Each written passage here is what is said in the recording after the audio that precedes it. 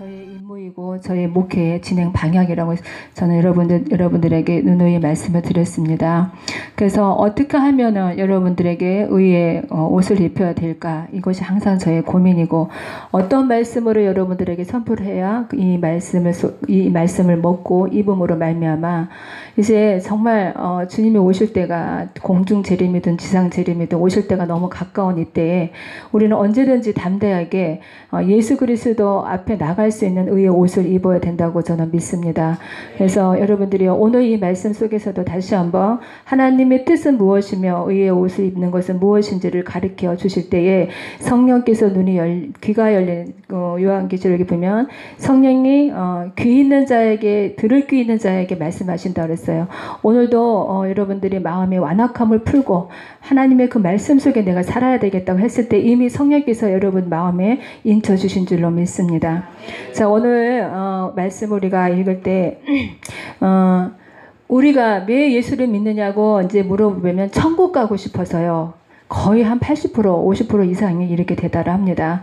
저는 어, 이렇게 생각을 해요. 오늘 말씀 속에 선포되겠지만 왜 예수를 믿느냐? 천국 가기 위해서보다 더 깊은 어, 영, 어, 하나님이 받고자 하는 고백은 뭐냐면 나를 사랑하기 때문에 나를 믿는다라고 고백하는 것이 하나님이 듣고자 하는 사랑의 고백이 아닌가 이런 생각을 해봅니다. 예를 들어서 어, 우리가 이제 어떤 배우자가 이제 약혼자가 있어요. 왜 저 사람하고 결혼할래? 그러면은 나 저 집이 너무 좋아서 거기 시집하고 싶어 이렇게 하는 거 하고 나는 저 사람을 정말로 진심으로 사랑합니다. 이 고백을 하고 결혼하는 거하고 어떻게 보면 차원이 틀린 거예요. 그죠? 예. 만약에 집은 집은 굉장히 좋은 집인데 손발 다 없고 불구자라면 갈 수가 있겠습니까? 그건 아니잖아요. 우리의 목적은 그 집보다도 그 배우자 되시는 그 나의 상대가 되어지는 예수 그리스도를 사랑하기 때문에 그 집은 저절로 딸려오는 부술물이, 어, 부술물인 거예요. 아멘. 그래서 나는 예수 그리스도를 진심으로 사랑하는 거는 과연 어떤 것인가를 자꾸만 성경에서 우리는 찾고 그렇게 그 사랑이 뭔가를 알고 우리가 실천함으로 말미암아 정말 예수 그리스도를 사랑해서 이 땅에서도 천국을 누리고 예수 그리스도를 사랑해서 그분이 정말 이제 온전한 모습을 십자가 달린 모습이 아니라 왕으로서 오셔서 나를 데려가서 저 천국에 사는 것은 하나의 서비 하나의 그 옵션으로 이렇게 우리가 가서 누리는 그런 천국 생활이 돼야 된다고 저는 생각을 합니다. 그래서 이 땅에서도 우리는 예수 그리스도를 만나야 되고 이 땅에서 진하게 예수 그리스도와 사랑을 나눈 자만이 저 천국에서도 어, 영원한 그 기쁨과 어, 영광과 환희를 느끼며 살아갈 줄로 믿습니다. 그래서 이 땅에서 우리가 자꾸만 말씀을 속에서 여러분 들에게 제가 하는 건 뭐예요? 우리 주일날, 수요일날, 금요일날도 우리가 계속 말씀드리는 건 여기 앉아 있는 것이 종교적으로 뭐 주일날 이제는 너무 오랫동안 다녀서 주일날 어디 가는 게 이상해서 앉아 있는 게 아니고 내가 예수 그리스도를 조금만 더 가까이 하기 위해서 그 목마름으로 그죠? 우리가 사랑한다 그러면 그분을 만나고 싶잖아요. 예? 사랑, 사랑하는데 만나고 싶지 않다. 이거는 사랑하는 게 아니죠. 그냥 우리는 본질적으로요, 육체적으로 사랑하는 사람도요, 그냥 만나고 싶고요, 가서 손이라도 잡아보고 싶고요, 뽀뽀도 하고 싶고요, 이제는 영원히 같이 있고 싶어갖고 같이 살고 싶어요. 그러면 결혼하는 거예요. 영도 마찬가지, 우리의 역 속 사람도 마찬가지예요. 예수님을 진심으로 사랑한다면 예수 그리스도의 실체이신 그 말씀 속에서 예수님을 만나고 싶은 거예요. 그리고 예수님도 우리에게 그 말씀을 통해서 우리를 만져주시기 원하고 우리도 그 말씀을 통해서 예수님을 만지기 원하는 겁니다. 아멘. 그래서 이, 이, 이, 이 땅에 살면서 예수 그리스도를 함께 깊은 교제 가운데 내가 네 안에 네가 내 안에 있으면 우리는 하나가 되는 거예요. 예수 그리스도 하나가 된 자가 저 천국에 가는 줄로 믿습니다. 오늘 말씀 속에서는 그러면 그 영생이라는 것은 저 천국에서의 삶을 이야기하는 건데 어, 오늘 이제 이 물음, 물음을 물었던 자들은 어떤 자들이냐? 말씀 그 구약 시대에 말씀을 어, 깊이 연구하는 자들도 있었고요. 어, 여러 종류의 사람들이 있습니다. 오늘 이 말씀은 제가 부연 설명이 필요 없어요. 그냥 이 오늘의 이 말씀이 마태, 마가, 누가복음에서 누가복음에는 두 번이 나오고요. 마태복음에 마가복음에서 이 공간복음에 네 번이나 나오는 질문이에요. 이 질문이. 네? 그래서 무엇을 하여야 영생을 얻으리까? 무엇을 하여야 하나님과 영원히 살 수 있습니까? 무엇을 하여야 내가 진짜 소망을 가지고 갈 수 있습니까?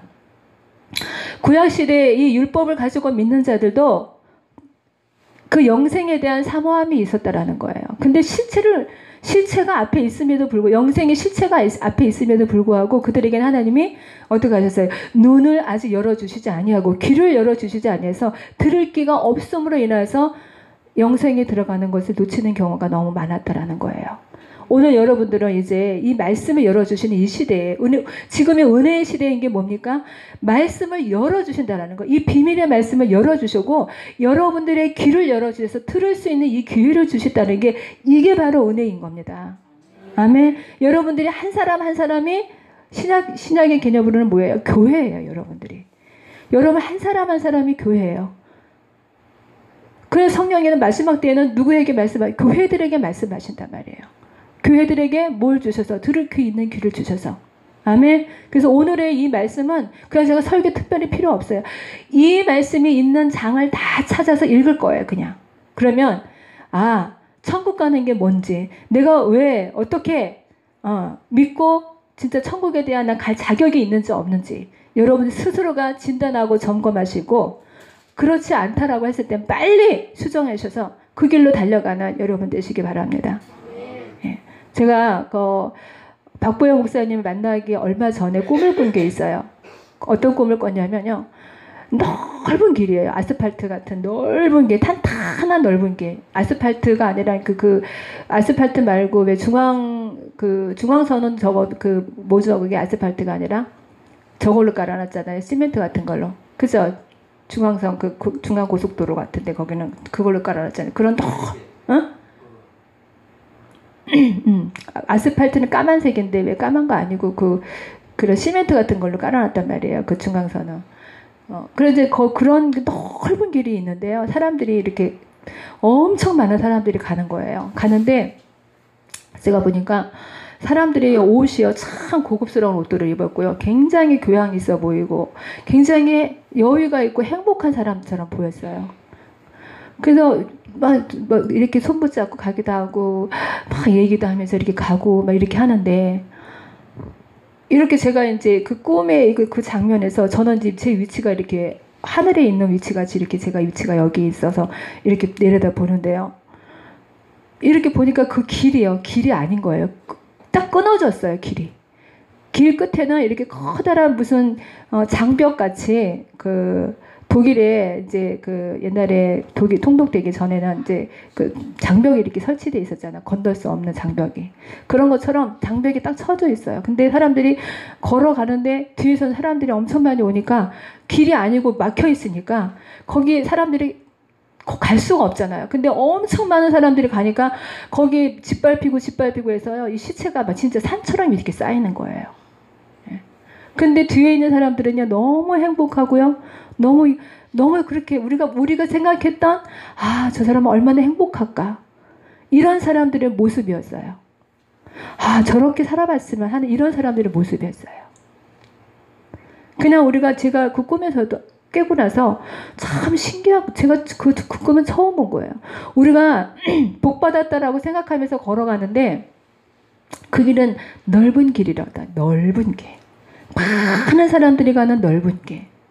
이 좁은 길은요, 예수 그리스도와 나밖에 함께 가지, 갈 수밖에 없는 좁은 길. 누구와 함께 손 붙잡고 삼삼오어 희희낙낙 하면서 갈 수 있는 길이 아니에요. 그 폭이. 아멘. 오직, 오직 예수 그리스도와 나만 겨우 붙잡고 골짜기 골짜기를 걸어가는 곳이 그곳이 좁은 길입니다. 오늘 이 말씀 속에서 어떻게 하면 영생을 얻으리까? 예수님은 좁은 길을 가라고 분명히 말씀하셨어요. 그러나 오늘 교회 나오는 사람들이 교회 나와서 복 받았다 하면서 넓은 길로 다시 갑니다. 좁은 길은 너무 힘들어. 너무 꼬불꼬불해. 너무 협착해.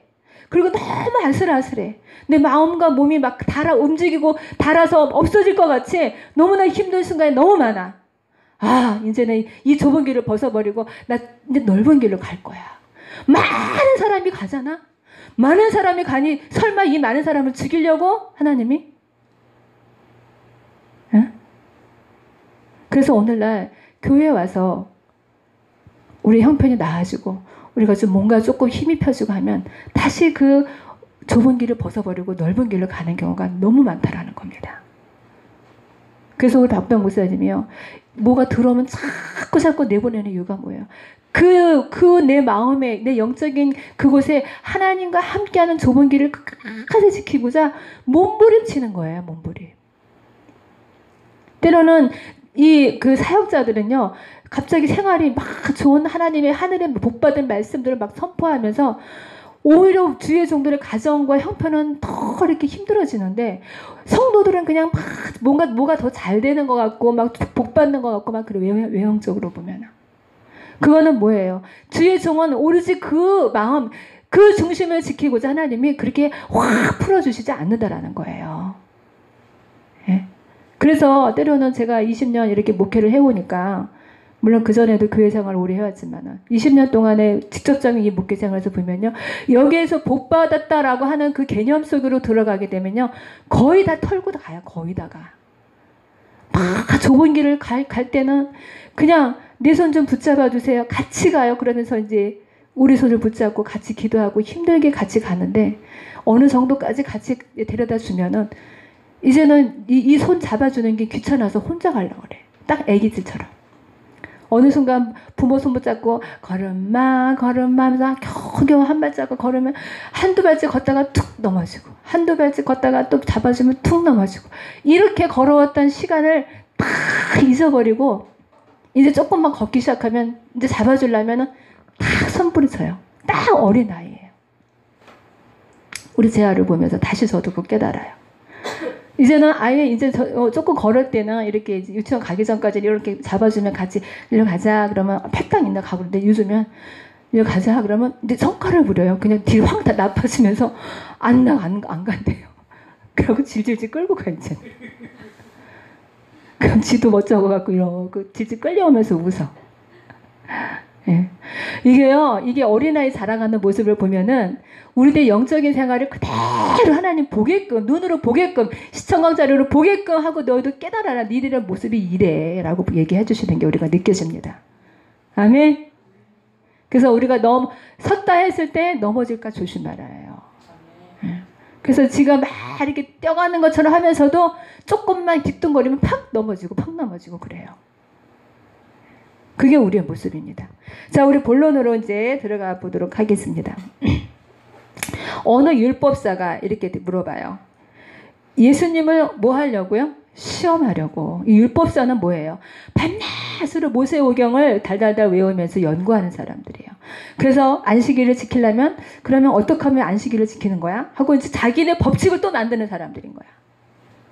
그래갖고 율법을 지키기 위해서 또 지켜야 하는 규칙을 600가지나 만들어 놓은 사람이 사람의 율법을 그 안에 더 얹어서 아예 백성들로 하여금 이 율법을 지키기 위해 지키다가 사람의 율법 규칙들 때문에 아주 압사당하게 만들어 놓은 사람들이 이 율법사들이었던 거예요. 그래서 이 율법사가 예수님을 시험하려고 네가 알면 얼마나 많이 하니? 아주 난해한 질문들을 내잖아요. 이 바리새인들이나 서기관들이나 율법사들이. 그죠? 이 사람들이 어떤 사람들이라고요? 하나님의 말씀을 연구하고 반드스로 먹고 말씀만 보는 사람들이에요. 네? 그러니 우리가 말씀을 알았다라고 했을 때 우리는 모르는 것에 대한 두려움을 가질 수 있어야 돼요. 아멘. 네. 이 율법사가 예수를 시험하려고 선생님이요, 내가 무엇을 하여야 영생을 얻으리까? 이제 이렇게 하는 거예요. 겸손하게 물어보는 게 아니라 나 배우고 싶어서가 아니라 시험하려고. 자, 그런 예수님께서 뭐라고 율법에 이 사람 율법 사니까 율법 법, 법을 잘 알잖아. 모세오경을 잘 알잖아요. 그러니까 어, 이 말씀이 어, 우리 신명기 6장에 있단 말이에요. 대답하여 가로되 내 마음과 목숨과 힘과 뜻을 다하여 주 너의 하나님을 사랑하고 또 내 이웃을 내 몸과 같이 사랑하라 하였나이다. 오, 너 잘하네. 우리 여기까지 안다라는 거야. 안다. 예? 알아요, 우리가. 근데 아는데 이 사람이 이것을 인해서 영생을 얻지를 못합니다. 안다라는 데서 끝나면 안 된다라는 거예요. 아멘? 그래서 예수님께서 그래요. 어, 내 대답이 옳도다. 너 알고 있네. 근데 왜 나한테 물어? 그럼 너는 그대로 어떻게 하면 돼? 내 하나님을 마음을 다하고 목숨을 다하고 힘을 다하고 뜻을 다하고 하나님을 사랑하는데 또 내 이웃도 그렇게 사랑하는 것을 행하라. 아멘? 그렇게 하면 되는 거야. 근데 여기서 그러면 이제 여기서 딱 떠나서 가서 행하면 되는 거예요. 그죠? 근데 이 율법서의 마음을 우리가 알 수 있는 장면이 어디냐면은 29절에 보면 이 사람이 어떻게 했다 그랬어요? 자기의 옳게 보이려고 나는 율법이고 이 말씀을 아는데 그래 나 좀 알아줘요. 우리 교회 생활 하다 보면 이게 목회자한테 잘 보이려고 막 이렇게 하는 사람들 보면 다 보인단 말이야. 어린아이부터 다. 그걸 못하게 해주셔야 돼. 진정한 주의 종은요, 그렇게 못하게 해야 돼. 오직 하나님만 의식하며 가게끔 만들어줘야 돼요. 주의 종을 의식하면서 교회 생활 하게끔 하는 것은 영광을 자기가 차지하는 거예요. 아멘? 오직 하나님만 바라보게 해야 됩니다. 자기가 옳게 보이려고 예수께 또 물어보는 거예요. 그러면 내 이웃이 누구니까? 이 많은 사람들이 있는데 내 이웃이 누구냐 말이에요. 자, 우리 하나님, 우리 예수님께서요. 그 마음을 깨뜨려 보실까요? 안 볼까요? 왜, 왜 율법사가, 왜 바리새인이, 왜 제사장들한테 하나님 앞에서 그렇게 예수님께서 이 독사의 새끼들하고 진노하셨는 장면이 이 속에, 이 말씀 속에 숨어 있는 것을 저와 여러분이 발견해 주시고, 우리는 그렇게 하지 말아야 된다는 거예요. 자, 예수님께서 이제 30장부터 37장까지 어, 이제 주고받는 대화 가운데 예화를 들으시는 거예요. 예화를.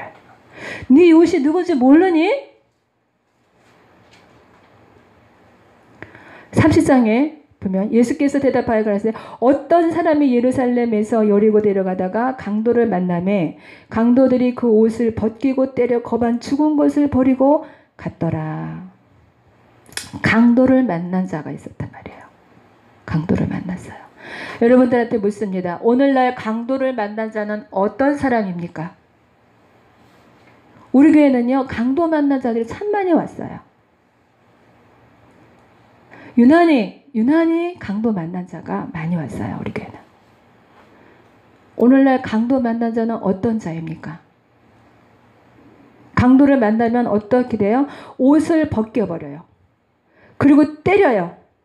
때리는데 그냥 때리는 게 아니라 목숨을 잃을 만큼 비참하게 얻어맞고 이제 버린 자와 같이 의지할 데가 없이 그렇게 악한 일을 만나는 자가 오늘날 강도 만난 자인 줄로 믿습니다. 아멘. 그래서 마침 한 제사장이 그 길을 이제 가는 거예요. 이 제사장은 뭐 하는 사람입니까? 예배를 위해서 어? 예배 예배를 드리기 위해서 이제 성전에 가서 소도 잡고 뭘 잡아야 돼요? 이제 재물을 잡고 할 일이 많은 사람이야. 예배를 위해서. 그래서 나는 지금 강도가 그렇게 만나서 어 그 한 사람 여리고 내려가는 사람이 강도를 만나서 죽은 것을 보고 그를 보고 피하여 지나갔어요. 뭐 때문에 갔을까요? 그냥 나 지금 빨리 가서 뭐 해야 돼? 예배 드려야 되니까. 여러분, 이 제사장을 향하여서 예수님이 하고자 하는 말이 뭘까요? 네가 진정으로 예배가 뭔지를 모르는구나. 아멘.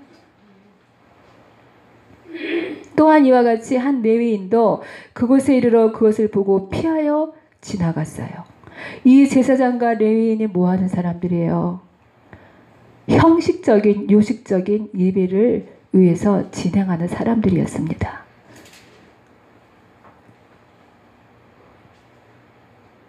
그런데 어떤 사람, 이 사마리아인들은 누구예요? 사마리아인은 제사장과 레위인과 거리가 먼 사람이에요. 예배 이, 이 예배하고는 거리가 먼 사람들이에요. 하나님의 택한 백성이라고 하기에는 거리가 먼 사람이에요. 이 사마리아인들은 이 솔로몬과 르호봄 시대, 시대 때 북이스라엘과 남유다로 갈라져서 북이스라엘 사람들이 예루살렘으로 오지 못하고 이렇게 자기네 멋대로 예배 들어갔고 이렇게 그 유다 사람들이 어, 예배도 못 드리는 자들 그리고 이제 그 바벨론과 알수르의 침략을 받아서 혼합된 사람들이에요. 씨가 섞인 사람들. 그래서 선민의 사상에 강하였던 이 이스라엘 백성들이 너희들은 이제 우리 유대 민족이 아니야라고 아주 개같이 여겼던 사람들이 누구냐면 이 사마리아 사람들이었다는 겁니다. 그러면은 우리가 종교적으로 이 제사장과 레위인이 종교적으로 봤을 때 저 너는 교인도 아니야. 너는 죄인이야. 너는 교회 근처 오지도 마. 예배는 거룩한 백성이 드리는 거니까 너는 오면 안 돼. 이렇게 정죄받았던 자들이 바로 이 사마리아 사람이었다라는 거예요. 이 사마리아 사인이 지나가, 그, 지나가게 되었어요. 그랬을 때 강도 만난 어, 그 신음하고 있는 자를 불쌍히 여겨. 자, 제사장과 레위인도 그를 보고 어떻게 했다 그랬어요? 똑같이 피하여. 아멘. 피하여 갔어요. 피해서. 근데 이 사마리아인은 그 강도 만난 자를 어떻게 여겼어요? 불쌍히 여겼어요. 하늘나라는 여기에 차이가 있는 겁니다. 오늘 여러분 이 말씀 속에 나는 지금 사마리아인의 마음을 갖고 있는지 제사장과 레위인의 마음을 갖고 있는지를 여러분들 스스로 점검하셔야 됩니다. 그래서 자기가 갖고 있던 기름과 포도주를 상처에 붓고 싸매고 기름과 포도주는 뭘 상징하는 걸까요? 성령의 기름 부으심과 포도주는 예수 그리스도의 보혈의 피를 상징하는 거예요. 아멘. 오직 예수 그리스도의 뭐예요? 사랑을 가지고 객관적으로 어떤 겉모습을 봤을 때는 저는 죄인이지만 그 속에는 예수 그리스도의 극률함과 사랑이 있었다라는 겁니다. 그 사랑을 가지고 어떻게 했어요? 그 상처를 싸매어 주었다라는 거예요. 오늘 예수님이 이 상황을 통해서 너무나 너무나 귀한 진리를 우리에게 지금 설파하고 계셔요. 우리가 교회에서 잘못 배우면 교회 안에서의 무슨 활동, 뭐 찬, 찬양하고, 뭐 성가대하고, 뭐 띵까띵까하고 북치고, 이게, 이게 종교적 생활, 생활인 줄 알고 착각하게 만드는 게 이게 잘못된 교회라는 거예요. 우리의 신앙은 오늘 이 본문에서 뭐 말씀했던 것처럼 예수 그리스도의 국률과 사랑이 없으면 아무것도 아닙니다. 제가 성경이 도대체 뭐야? 나 어떻게 가르쳐야 되지? 그렇게 오랫동안 신앙생활을 해왔는데 도대체 믿는다라는 게 뭔지 하는 이 어떤 본질을 제가 잡지를 못해갖고 엄청 힘들었거든요. 그래서 막 성경을 연구했어요. 우리가 적이라고 하는 게 뭐지? 우리 싸워야 대상이 뭐지? 막 이런 것부터 찾기 시작을 하면서 막 연구를 하는데요. 막 보석들이 막 나와요. 막 말씀 속에서 이 율법사들 같이 막, 막 우월감이 내 속에서 막 넘쳐 흐르는 거예요. 그러다가 고린도전서 13장에 딱 가갖고 제가 연필을 탁 내려놓고 맥이 푹 빠졌어요. 왜 그랬을까요? 사랑이 없으면 아무것도 아니니라. 하, 난나 혼자만 막 말씀 먹어가지고 막, 와, 나만 은혜 받았고 이거 안 가르쳐 줄 거야. 나만 가실 거야. 막, 막 말씀을, 네 말씀을 그 깊은 비밀을 깨달아 안다 할지라도 사랑이 없으면 아무 소용이 없느니라. 제가 거기에, 뭐야, 나 그런 풍선 잡고 있었네? 오늘날 왜 신학자들이나 신학 박사들이요. 왜 인정 못 받아요? 그걸 그 지식을 왜 인정 못 받아요? 우월감에 사로잡혀 있어요. 나만 아는다고. 우리는 지식은요, 말씀을 지식으로 먹어버리면 나를 더 교만하게 만들어요. 아멘? 이 오류에 빠지면 안 돼요. 우리가 본질적으로 믿는다는 게 뭔지를 오늘 말씀 세계를 꽉 잡으셔야 됩니다. 우리 교회가 우리 목사님 아프시고 저 아프고 주의 종들이 강도를 만났었잖아요. 그죠?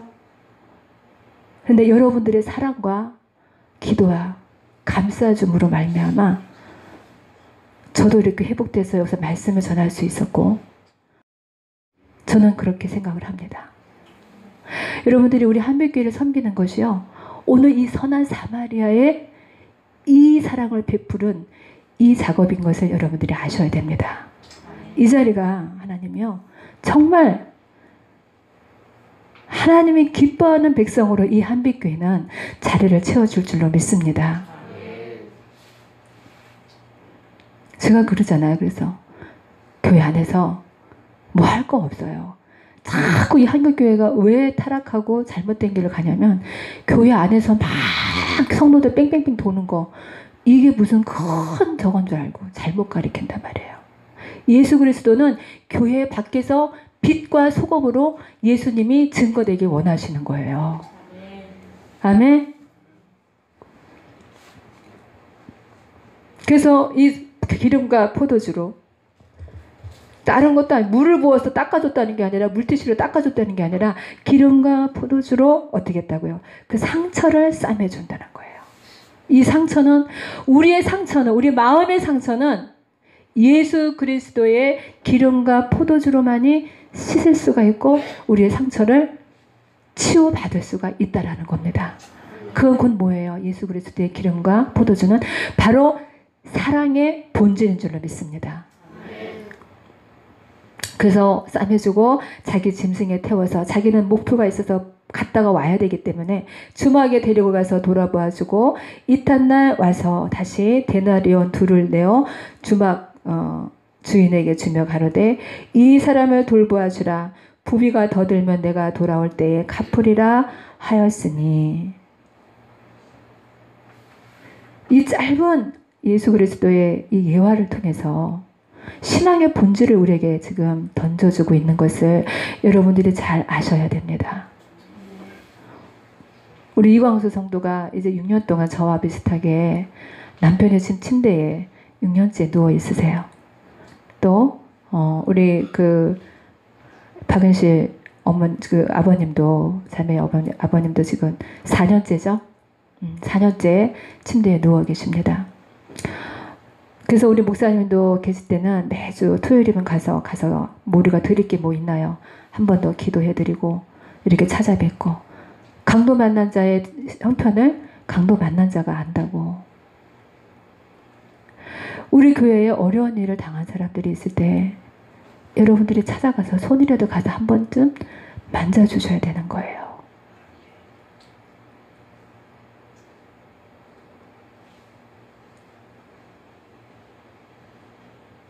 저는 여러분들이 한 사람도 다 빼지 않고 다 구원받기를 바랍니다. 어떻게 하는 것이 옳으냐 지금 우리에게 묻고 계셔요.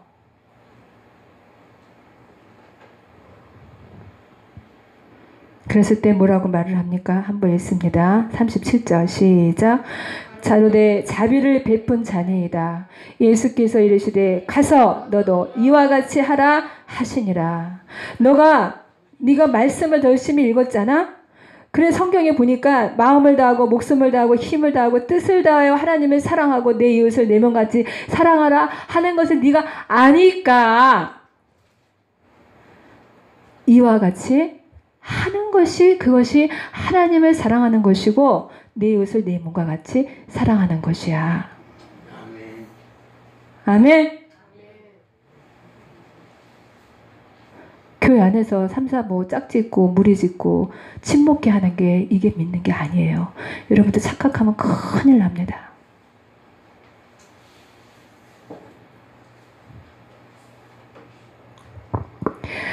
그래서 하나님의 사랑, 이웃 사랑이 무엇인지를 말씀해 주고 계셨습니다.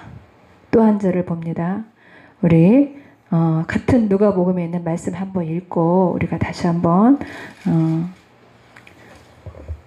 더 나아가서 어떻게 하는 것이 하나님 기뻐하시는지 누가복음 18장 한번 읽고 누가복음 18장 18절에서 30절까지 같이 우리가 어, 읽어보도록 하겠습니다. 천천히 읽을게요. 시간이 없어서 이, 서, 설교하는 건 조금 제가 어, 생략을 하고 읽으면서 다시 한번 이 말씀을 풀어주시는 건데 어떻게 또 다시 풀어주시는가를 이 말씀을 통해서 여러분들이 읽으면서 은혜 받으시고 여러분들에게 주시는 귀한 말씀으로 붙잡기를 축원합니다.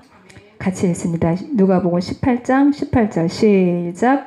어떤 관원이 물어가로되 선한 선생님이여 내가 무엇을 하여야 영생을 얻으리까 예수께서 이르시되 내가 어찌하여 나를 선하다 일컫느냐? 하나님 한 분 외에는 선한 이가 없느니라. 내가 계명을 안 하니 가늠하지 말라 살인하지 말라 도둑질하지 말라 거짓 증거하지 말라 내 부모를 공경하라 하였느니라.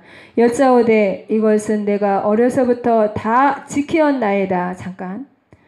여기서 이 사람이 뭐라 그랬대요? 어려서부터 계명을 어떻게 했다 그랬어요 다 지켰어요 그러면 의인이라 칭할 수 있어요 없어요 있는데 부족하다고 말씀하시는 거예요 이것이 신약에서의 율법이 이렇게 더 강화됐다라는 겁니다. 자, 22절부터 시작. 예수께서 이 말을 들으시고 이르시되 내가 오히려 한 가지 부족한 것이 있으니 분명히 말씀하십니다. 계명을 다 지켰을지라도 한 가지 모았다 그랬어요? 이걸 하면 넉넉하다예요, 아니에요? 너는 한 가지가 아직도 부족해라고 지금 지적을 하고 있는 거예요. 부족한 것이 있으니 시작. 내게 있는 것을 다 팔아 가난한 자들을 나눠주라. 그리하면 하늘에서 보화가 내게 있으리라. 그리고 와서 나를 쫓으라 하시니. 하나님의 참된 제자들은요 자기 걸 다 버리고 오직 천국을 향하여만 가는 좁은 길을 가는 오직 세상의 짐은 다 버리고 예수 그리스도를 섬기는 그 명예로운 멍에만 지고 가는 자가 참된 제자가 된다라는 말씀입니다. 23절 시작 그 사람이 큰 부자인 고로 이 말씀을 듣고 심히 근심하더라. 예수께서 저를 보시고 가라사대 재물이 있는 자는 하나님의 나라에 들어가기가 어떻게 어려운지 약대가 바늘기로 들어가는 것이 부자가 하나님의 나라에 들어가는 것보다 쉬우니라 하신대. 듣는 자들이 가로되 그런 정도가 구원을 얻을 수 있으리까? 가라사대 물을 사람이 할 수 없는 것을 하나님은 하실 수 있느니라. 잠깐. 그럼 부자가 하늘나라 들어가기 참 어려운데 그럼 어떻게 구원을 받을 수 있습니까? 하니까 예수님이 뭐라 그래요? 사람은 할 수 없는데 하나님은 할 수 있대요. 아, 여기서 딱 들을 때 우리, 아, 재물을 가지고도 하나님의 능력으로 뻥, 내가, 내 재물을 다 들고 천국에 갈 수 있는 게 하나님의 능력이구나. 이렇게 해석하면 오해가 된다라는 거예요. 하나님의 능력은 뭐예요? 다 버릴 수 있는 그 심령을 허락해 주는 게 그게 능력인 거예요. 아멘? 착각하면 안 돼요. 하나님은 이 세상의 물건 다 가지고 천국 들어갈 수 있는 능력이 있으세요. 하늘나라는 천국에는 근데 이 쓰레기 같은 거 갖고 들어갈 이유가 없다라는 겁니다. 아멘? 하나님은 하실 수 있느니라 여기에 그냥 좋아가지고 아 그럼 내 거 다 들고 들어갈 수 있네 아뭐 이럴 이럴 수도 있다라는 거예요 이 사람. 응? 근데 뭐라 그래요? 28절 시작 베드로가 여짜오되 보옵소서 우리가 우리의 것을 다 버리고 주를 쫓았나이다. 베드로도 다 버리고 왔잖아요. 부모, 자식, 처. 자기가 그렇게 애지중지하고 자기의 정말 목숨과 같은 그 그물을 버려두고 쫓아왔잖아요.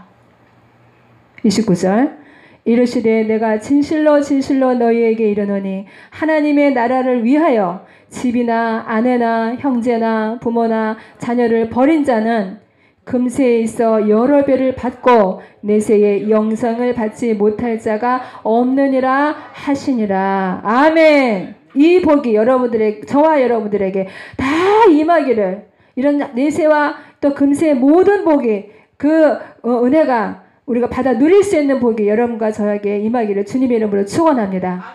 오늘 이건 무슨 말씀이세요? 다 버리면 다시 하나님께서 회복시켜 주시는데 지금 버린 거에 배를 받는다는 거예요. 지금 뭘 버렸어요? 집도 버렸고요. 아내도 버렸고요. 형제도 버렸고 부모 자녀를 버렸어요. 육체의 혈육의 모든 정은 다 버린 거야. 육체의 혈육으로 이 하늘나라를 향하여서 가지 못하게 하는 이 끈끈한 이런 이런 육적인 것들 다 버렸을 때 새로운 하늘나라의 부모 형제를 주신다라는 겁니다. 근데 우리 부모는 한 사람이잖아요. 많은 부모도 주시고요. 많은 형제도 주시고요. 거기에다가 뭐까지 주신다고요? 내세의 영생, 저 천국의 영생까지 주신다라는 거예요. 우리는 버리면, 버리면 다 망하는 게 아니라 이 하나님의 것을, 내, 내 것을 하나님을 위해서 버리면 버릴수록 어떻게 한다고요? 배나 더 주시는 게 이게 하나님의 계산법이라는 거예요. 그래서 여러분들에게 열심히 하나님을 섬겨. 물질로도 섬기란 말이에요. 오늘 이 말씀은 뭐예요? 계명도 지키고 물질을 하나님 앞에 섬기라는 겁니다. 아멘. 근데 짜잔하게 11주도 못하고 감사한금도 할줄 모르는 마음으로 무슨 내세의 영생을 얻겠다고 여기 앉아 있냔 말이에요. 응? 하늘나라의 법칙도 모르면서 원리도 모르면서 순진한 척 앉아 있으면 하나님 모르실 것 같으냐고요. 끝까지 완악한 마음 갖지 않고 여러분들이 순종해서 우리가 다 구원 받아야 되잖아요. 아멘.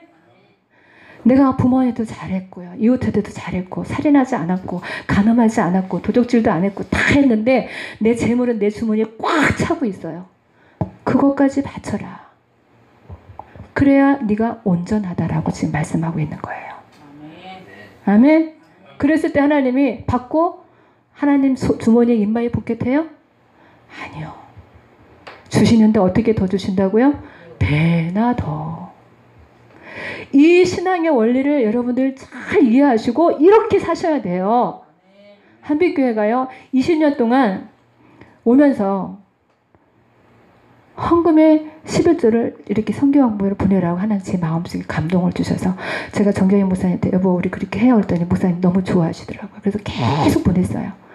우리 애들 또 여기 지나간 성도들 아니 먹을 것도 없고 생활비도 없다 하면서 어째 그렇게 많은 헌금을 자꾸 보냅니까? 근데 저는 하나도 그걸 보내면서 다 저거 저거 있으면은 우리 애들 뭐 튀김도 사주고 떡볶이도 사주고 짜장면도 사줄 텐데 이렇게 아까워하는 마음이 코딱지만큼도 없었어요. 그건 당연하다고 생각했어요.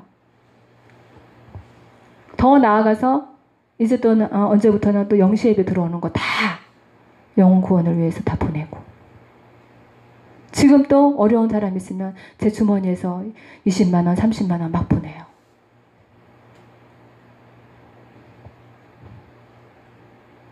우리의 정상적인 마음은요, 내 주머니에 많이 쌓이는 것이 하나님한테 죄송하고 미안하고 불안해야 돼요.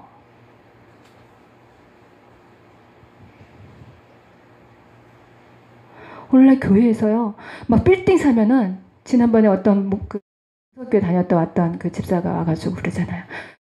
교회는요, 이제 그 구역장 모임을 한대요. 한 달에 한 번씩. 그러면, 어, 이번 주 구역장님은 강남의 빌딩 몇, 얼마짜리 샀습니다. 박수! 이런 되는 거야. 그러면 거기 사람들이, 아, 다음에는 내가 박수 받고 싶어. 뭐 이런대요. 그리고요, 아, 저 너무 예쁜 옷, 막 멋있는 옷 입고, 뭐 진짜 엘레강스한 옷을 입고 오면은, 저 오늘 좀 괜찮죠? 이거 3만원짜리. 그러면요, 아, 다음에 내가 저 옷 입고 해야지. 막 이런대요. 그걸 조장하는 모임인 거예요, 교회가. 망할 교회인 거예요, 그 교회는. 다 쓸어서 지옥으로 보내는 교회예요. 오늘 여러분들이 한백교회 오신 것은 축복인 줄로 믿습니다. 어떻게 하든지, 어떻게 하든지 나가게 하고, 어떻게 하든지 베풀고, 어떻게 하든지 바른 길로 가게 하기 위해서 몸부림치는 이 메시지가 전파되는 이 한빛교회, 여러분들이 이곳에 하나님께서 불러주신 것은 천국 백성으로 어떻게 하든지 하나님이 이끌어 가시고자 하는 하나님의 강한 의지가 있는 줄로 믿습니다. 네. 여러분들이요. 내 이웃의 아픔을 강도 만난 자가 있다면 내 주머니를 털어서 얼마든지 주기를 아까워하지 마시고 먹는 데 가서 그냥 막 나도 같이 먹으니까 그냥 막 배불러 하지 말고 내가 안 먹어도요. 그냥 열심히 밥 한 끼라도 사 먹으세요 하고 열심으로 섬기세요. 교회 11조 하는 게 싫어. 그럼 그 11조 떼서 불쌍한 사람한테 갖다 주세요. 그게 바로 11조예요. 아멘? 주머니가 열리지 않으면 이건 온전함이 아니라고 오늘 말씀하고 계시는 겁니다. 여러분들이 참된 믿음은 왜? 내 중심 그 깊은 곳에는 물질을 딱 잡고 있거든요. 하나님을 의지하는 게 아니고 물질을 의지하고 있는 그 깊은 내 속을 하나님이 지금 지적하고 계시는 거예요. 아멘? 나를 지적하고 있을 때 그 지적함 앞에 뻗팅기지 마시고 무릎 꿇으시고 축복받는 여러분 되시길 바랍니다. 기도합니다. 하나님, 감사합니다. 우리가 믿는다는 것이 어떤 것이고, 영생을 어떻게 얻는 것인지를 오늘 말씀을 통해서 우리에게.